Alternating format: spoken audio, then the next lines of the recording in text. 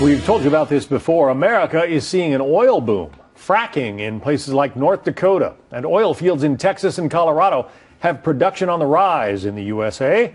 Well, now, after a decades long ban on exporting any American oil to other nations, the U.S. is now looking into the financial upside of opening our crude oil market to others. Critics, though, say we will need the reserves and we should just keep it all ourselves. Dan Springer in Seattle now with the latest on that. Dan.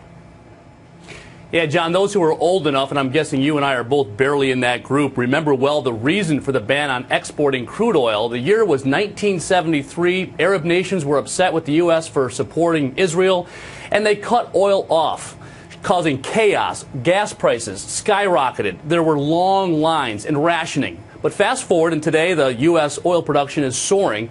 We've cut way back on imports, and there's even a worry that domestic production will soon outstrip our refining capacity. Alaska Senator Lisa Murkowski is leading the charge to lift the export ban. She recently sent a letter to the White House and testified at a congressional hearing. This ban threatens record breaking U.S. oil production and American jobs by creating inefficiencies, gluts, and other distortions.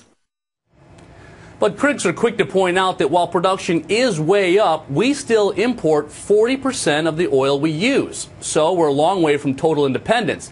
They also argue that this is about the oil companies making more money because they could get a higher price for the oil they export. As far as the impact on consumers, well, not surprisingly, the two sides disagree. Supporters of lifting the ban believe more oil on the global market would bring gas prices down for everyone, but others, they don't think so crude oil sold overseas can get about $10 more per barrel than it can in the United States. That will make the oil companies more money, but could raise the price of gasoline here while forcing us to depend more on other countries.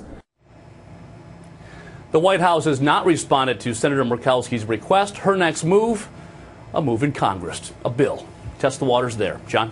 And yes, Dan, unfortunately, I do remember the Arab oil embargo of 73. Yeah. Dan Springer. We were young. We were very young, oh, but uh, we remember a, it. Just a wee lad. Thank you, Dan. yeah.